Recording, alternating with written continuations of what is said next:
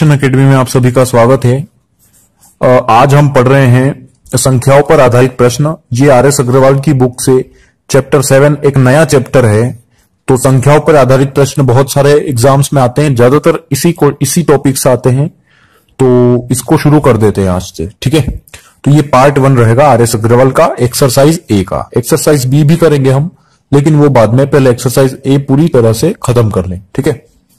इसी संख्या का दो बटे पाँच का तीन बटे सात यदि एक सौ अट्ठानवे है तो संख्याएँ बताइए। देखो किसी संख्या का तो मान लो कोई संख्या कितनी है? एक्स अगर एक्स का का मतलब होता है गुणा, ठीक है? एक्स का दो बटे पाँच का, फिर से गुणा। तीन बटे सात बराबर कितना है? वन नाइन एट है, ठीक है? तो संख्या बताइए मतलब एक्स बताइए। तो बस सोल्व कर लो इसको। तीन दूना कितना होता है? छह। से डिवाइड करो इसको छेतिया अठारह छेतिया अठारह तो पाँच से तो होता है पैंतीस तो एक्स बराबर वो तैतीस है गुना सात पंजे पैंतीस उधर चला गया। तो मल्टीप्लाई कर लेना है आपको, ग्यारह सौ पचपन आ जाएगा, इन दोनों का मल्टीप्लाई ठीक है? क्वेश्चन नंबर सेकंड देखते हैं। एक संख्या, उस संख्या का तीन बटे पाँच, देखो एक संख्या तथा उस संख्या का तीन बटे पाँच, दोनों का अंतर पचास है। देखो एक संख्या और उसी संख्या का तीन बटे पाँच, का मतलब गुणा, तीन बटे पाँच।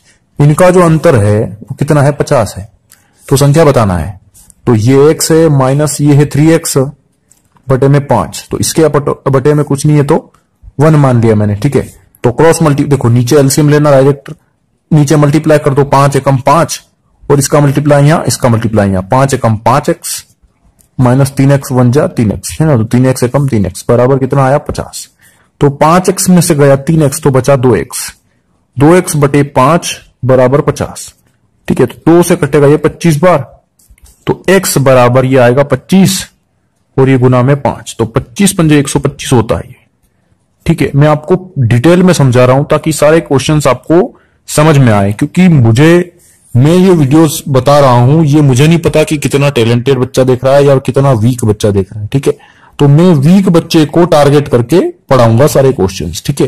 ताकि बेसिक से वो समझे इन क्वेश्चन को, जल्दी से जल्दी करना भी सीखे इनको, ठीक है? आप ऑप्शन से भी कर सकते थे इसको कि ये एक संख्या 125 और इसका तीन बटे पाँच। तो तीन बटे पाँच निकालते आप तो हालाँकि ये टाइम बहुत ज़्यादा ले लेता तो आप जल्दी से करें इसी तरीके से और फास्टली थोड़ा सा ठीक है?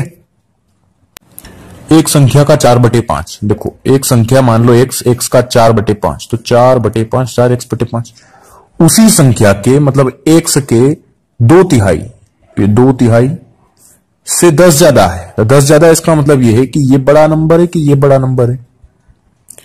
डिपेंड करता है। ठीक है तो चार बटे पाँच अस्सी परसेंट होता है और दो बटा तीन कितना होता है? छाछठ परसेंट। मतलब बड़ा ये होता है। देखो तो ये फ्रैक्शन वैल्यूज़ मैंने कैलकुलेट करके निकाला है। ठीक है आप एक काम कर सकते हैं मल्टीप्लाई कर लीजिए। चार दिया बारह, पाँच दूना दस। बारह बड़ा होता है ना तो ये नंबर बड़ा होगा। ठीक है क्रॉस मल्टीप्लाई चार दिया बारह पाँच दुना दस तो बारह बड़ा है इसलिए ये नंबर बड़ा है। तो बड़े में से छोटा घटाना है। इनका जो अंतर है वो कितने का है? दस का अंतर है। ये बोलना ये चाह रहा है कि एक संख्या का जो चार बटे पाँच है वो इस संख्या से दस ज़्यादा है। तो अगर मैं इधर लिख दू ये दो एक्स बटा तीन और उससे दस ज़्यादा है ये। समझना ये वा, ये वाली स्टेप अभी नहीं है ये ठीक है? तो ये दो एक्स बटे पाँच जो है इसको उठा करके मैं इधर लाऊँगा तो ये माइनस का दो एक्स बटे पाँच बनेगा। बिल्कुल यही तो बताया है, ठीक है, इसमें, कि इन दोनों का जो अंतर है, वो दस है, ठीक है? तो बस सिंपल सा कैलकुलेशन है, नीचे एलसीएम ले लो, पाँच तिया पंद्रह मतलब गुणा कर लो एक दूसरे का, पाँच तिया पंद्रह, ठीक है? मल्टीप्लाई करना है, चार तिया बारह माइनस पाँच दूना दस, बारह एक्स माइनस दस एक्स कितना बचा? दो एक्स ठीक है, बराबर दस तो दो से कटेगा ये पाँच बार तो पंद्रह पंजे हो जाएगा पिछहत्तर तो एक्स की वैल्यू कितनी आएगी? संख्या कितनी आ गई? हमारी सेवेंटी फाइव ठीक है? तो ये हो गया आपका आंसर एक संख्या के चौथे तथा पाँचवें भाग का योग उसके तीसरे भाग से 28 बड़ा है। देखो, एक काम है, यहाँ पे क्या है कि मान लो एक संख्या है कि एक्स है तो उसके चौथे भाग चौथे भाग मतलब चार से डिवाइड कर दो, उससे चौथा हिस्सा निकल आएगा। तो एक संख्या का चौथा भाग और उसका पांचवा भाग, पाँच से भाग करोगे तो पांचवा भाग आएगा। तो इनका योग तीसरे भाग से, उसके तीसरे भाग से मतलब संख्या का तीसरे भाग से 28 बड़ा है। समझ में आना है?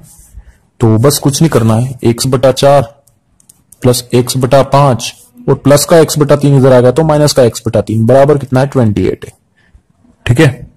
तो बस कैलकुलेट कर लेना है। पाँच, तीन, बारह सॉरी पाँच, चार, पाँच और तीन। इनका आपको क्या लेना है? एलसीएम ले लेना है। साठ, ठीक है? तो साठ एलसीएम आ गया यहाँ पे। तो साठ एलसीएम आ गया। चार से साठ को डिवाइड करो। कितना बचा? पंद्रह। पंद्रह चौक साठ होता है ना? पंद्रह। तो पंद्रह का मल्टीप्लाई कर दो इस एक्स में तो पंद्रह एक्स प्लस इस पाँच से डिवाइड करो इस साठ को। तो पाँच से जब भाग करोगे साठ को तो बारह बचेगा। और बारह का मल्टीप्लाई कर दो एक्स में तो बारह एक्स ठीक है? माइनस देखो, तीन से डिवाइड करो साठ को, कितना आया? बीस। बीस का मल्टीप्लाई कर दो एक्स में तो बीस एक्स बराबर कितना है? ट्वेंटी एट है। तो इस साठ का क्रॉस मल्टीप्लाई कर दोगे तो साठ कहाँ जाएगा? यहाँ पे, ठीक है? तो पंद्रह और बारह कितना हो गया ये? सत्ताईस। और सत्ताईस में से गया बीस एक्स तो बचा सात एक्स। सात एक्स बराबर अट्ठाईस गुना साठ, ठीक है? तो सात चौक अट्ठाईस तो साठ चौक कितना होता है? दो सौ चालीस। तो ये संख्या आ गई हमारी दो सौ चालीस। इसका आंसर हो गया है, ठीक है? किसी संख्या के साठ परसेंट का तीन बटे पाँच यदि छत्तीस हो तो वो संख्या बताओ। देखो, एक संख्या एक से, उसका साठ परसेंट होता है साठ बटा सौ। उसका तीन बटे पाँच होता है छत्तीस। ये छत्तीस दिया है, ठीक है? तो बीस दिया साठ, बीस पंजे सौ, ठीक है? तीन दिया नौ। तो नौ चौके छत्तीस, ठीक है? तो पाँच पाँच पच्चीस और पच्चीस चौक होता है सौ। मतलब एक्स की वैल्यू कितनी आ गई? सौ। ये आ गया आपका आंसर इसका, ठीक है? 740 का 35 प्रतिशत एक संख्या से चौंतीस ज़्यादा है। देखो 740 का 35 परसेंट, देखो हालाँकि मैं डायरेक्ट निकाल सकता था, लेकिन सबको समझ में आना चाहिए। 740 का 35 परसेंट एक संख्या मतलब एक सौ, से चौंतीस बड़ा है। चौंतीस ज़्यादा है तो एक्स प्लस चौंतीस। ठीक है? तो 740 का 35 परसेंट देखो, पाँच से तो पैंतीस, पाँच दूना दस। ठीक है? ये ज़ीरो से, ज़ीरो कट गया, दो से काट दो इसको। दो ती अच्छे दो सती चौदह। सैंतीस सैंतीस सती कितना होता है? दो सौ ठीक है? तो टू फिफ्टी नाइन होता है ये। और इधर है एक्स प्लस थर्टी फोर तो थर्टी फोर गया इसमें से। तो two fifty nine minus thirty four equals to X तो nine minus four that is five five minus three two two five X की वैल्यू कितनी आ गई? दो सौ पच्चीस और इस संख्या का दो बटे पाँच निकालना है तो दो सौ पच्चीस का दो बटे पाँच निकाल लो। तो पाँच चौक बीस, दो बचा, पाँचों पच्चों पच्चीस। पैंतालीस दूना कितना होता है? नब्बे। तो नब्बे हो गया इस प्रश्न का उत्तर आपका। ठीक है? किसी संख्या के पचपन प्रतिशत तथा उसी संख्या के पच्चीस प्रतिशत का अंतर ग्यारह दशमलव दस है तो उस संख्या का पिछहत्तर प्रतिशत कितना होगा? किसी संख्या का पचपन परसेंट देखो, किसी संख्या का पचपन परसेंट और उसी संख्या का पच्चीस परसेंट, ठीक है? इनका जो अंतर है वो कितने का है? ग्यारह दशमलव दस का है, ठीक है? तो उसका, उस संख्या का पचहत्तर परसेंट कितना होगा? तो देखो यार, ये तो नंबर ए संख्या में कितने का अंतर है? ग्यारह दशमलव दस का। और हम जानते हैं कि प्रतिशतता में कितने का अंतर है? यहाँ परसेंटेज में तीस का अंतर, देखो तीस परसेंट का अंतर है इनमें।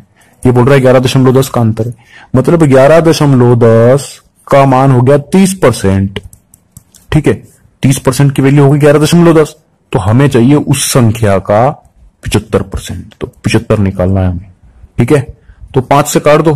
पाँच पाँच से पंद्रह बार जाएगा। पाँच छंग तीस। ठीक है? अब देखो यहाँ पे।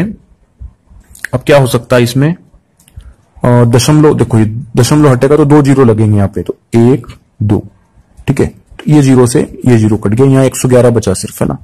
तो पंद्रह, ये साठ कटेगा, पंद्रह चौक साठ तो एक सौ ग्यारह बटा चार तो डिवाइड कर लो, चार दुना आठ, दस ग्यारह, दो बचा, चार पंजे बीस, है ना? चार दुना आठ, नौ दस ग्यारह, तीन बचा सॉरी चार सौ तो अट्ठाईस चार सौ तो अट्ठाईस, चार पंजे बीस। सत्ताईस दशमलव पिछहत्तर तो ये होगा आपका आंसर इसका। ठीक है? यदि एक भिन्न के अंश में 150 प्रतिशत वृद्धि कर दें तथा हर में 350 प्रतिशत वृद्धि कर दे तो भिन्न 25 बटा इक्यावन हो जाता है तो मूल भिन्न क्या है? देखो तो सबसे पहले आपको भिन्न पता होना चाहिए कि भिन्न भिन्न बराबर मतलब फ्रैक्शन बराबर क्या होता है? फ्रैक्शन कोई ऐसा होता है, बिल्कुल। जैसे दो बटा पाँच, तीन बटे पाँच, एक बटा आठ, ये जो बटे में नंबर्स होती है, वो भिन्न कहलाता है। ऊपर वाला नंबर अंश कहलाता है, नीचे वाला नंबर हर कहलाता है, ठीक है?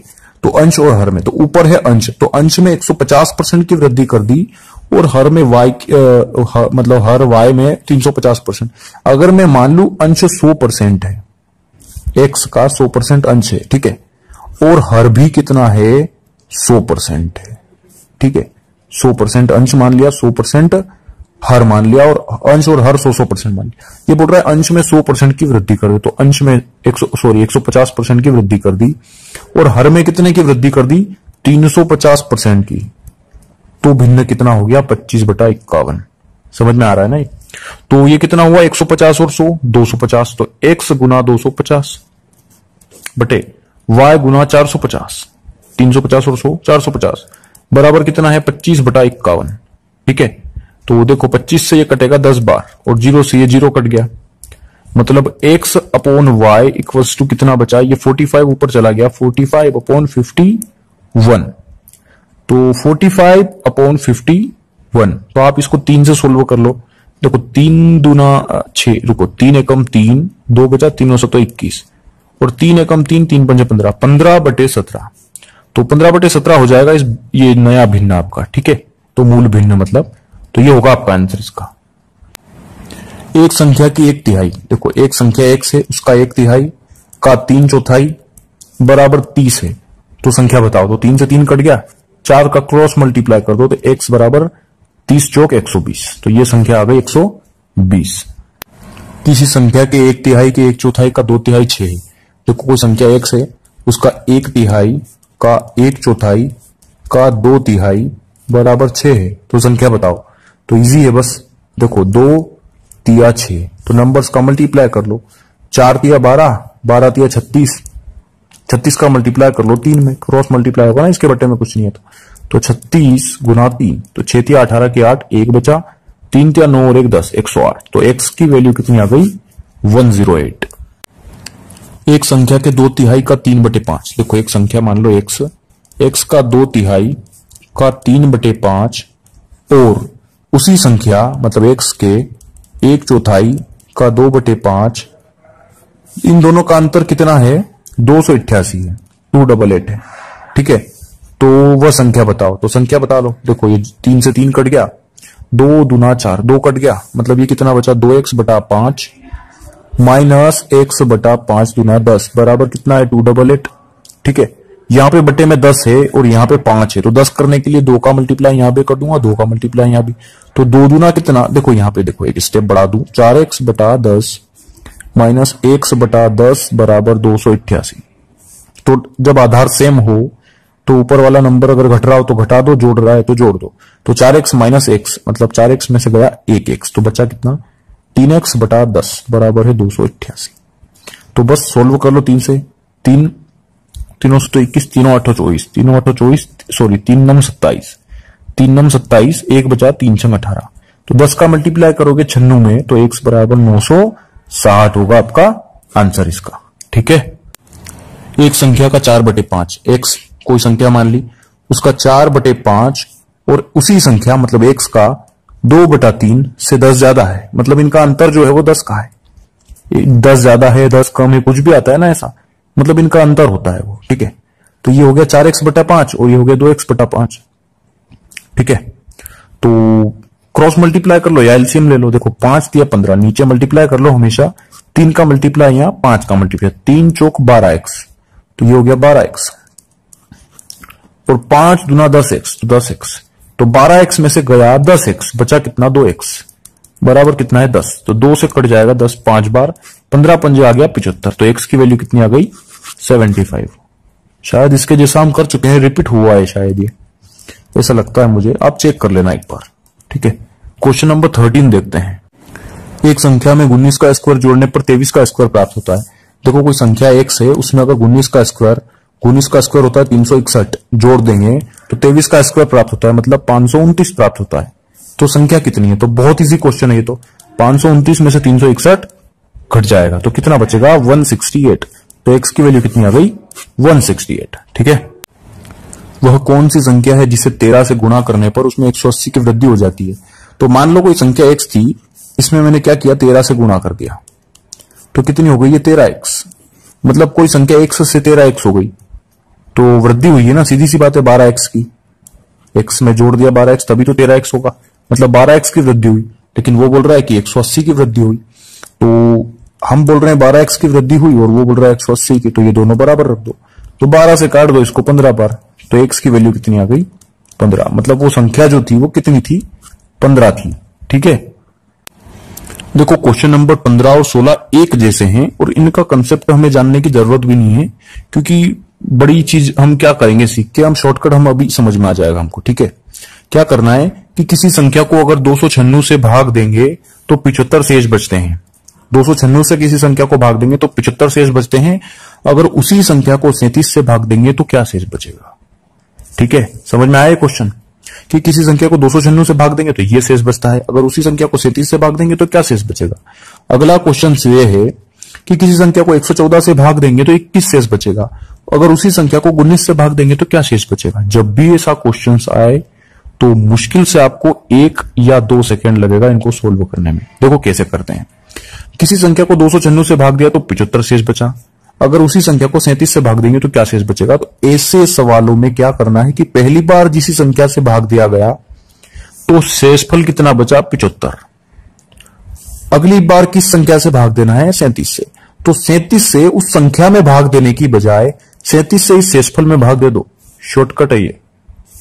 सैंतीस दूना होता है चौहत्तर, और ये कितना है? पिछहत्तर कितना शेष बच गया? एक। ये हो गया आपका आंसर इसका। ठीक है?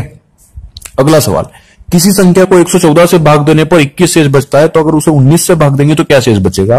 तो 19 से उस संख्या को भाग देने की बजाय 19 से पहली बार जो बचा शेषफल, उसको भाग दे दो। तो 19 से कम 19 ये कितना है? 21 तो 19 से कम 19 तो 20 21 दो शेषफल बच गया ना?